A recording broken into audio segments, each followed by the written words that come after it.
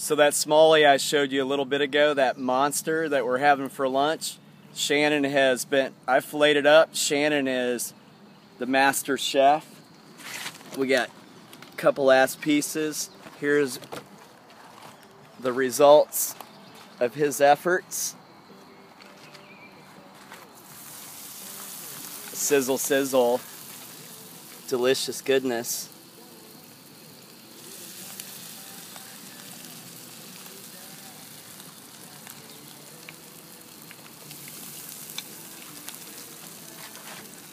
I bet you want some, don't you?